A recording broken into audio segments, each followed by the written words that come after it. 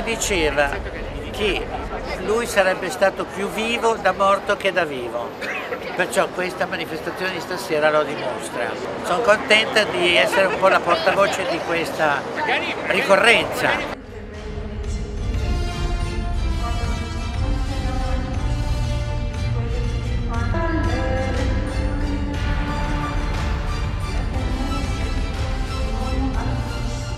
Oggi è bellissimo essere qui tutti riuniti per pregare un'anima bella, fulgida, che ci aiuta di lasciare, che si china verso di noi come faceva quando era in vita, per sollevarci da tutte le miserie umane, dalle pene, dalle angosce.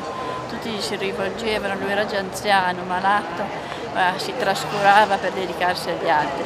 Infatti il suo proverbio era io ho quel che ho donato. Questo è il messaggio, la carità in persona faceva solo miracoli così come apparizioni di oggetti, sparizioni, non era una cosa miracolistica, però con i suoi esperimenti famosi voleva dimostrare che esiste lo spirito intelligente.